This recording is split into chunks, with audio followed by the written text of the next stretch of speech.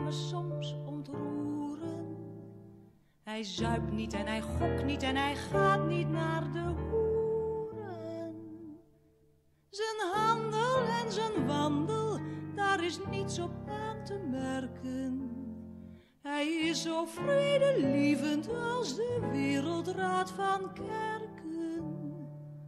Hij is een idealist, oh absoluut een idealist.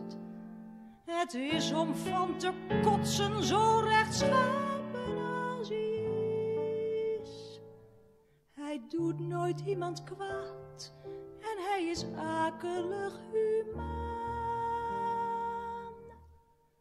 Het is volstrekt onmogelijk om met hem om te gaan. Daar valt niet mee te leven met die man. Waarom ben ik gebleven bij die man?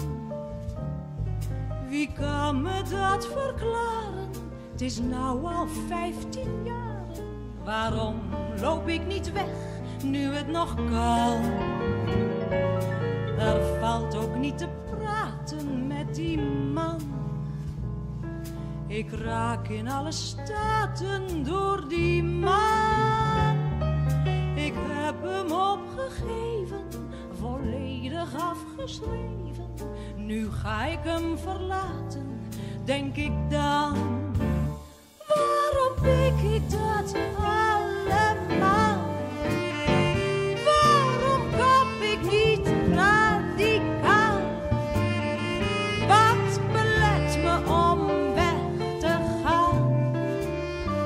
Ben ik bang om alleen te staan?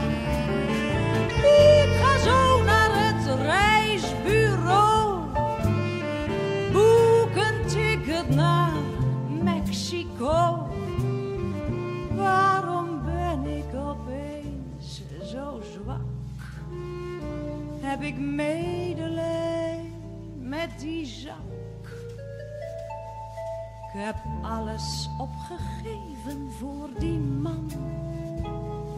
Een groot stuk van mijn leven voor die man. Het is niet te verdragen, die ruzie alle dagen. Daar valt niet mee te leven met die man. Ik wil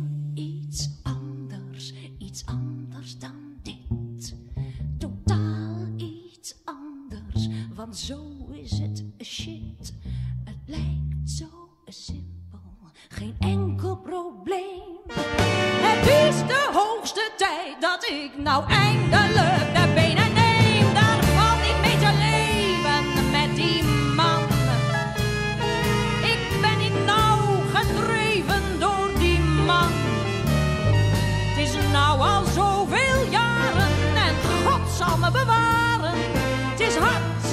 te leven met die man. Ik had altijd zoveel vrienden als ik wou. Maar waarom blijf ik nog één seconde trouw?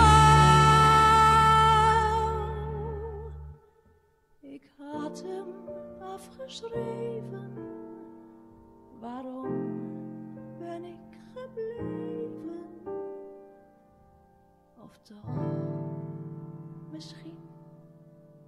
dat ik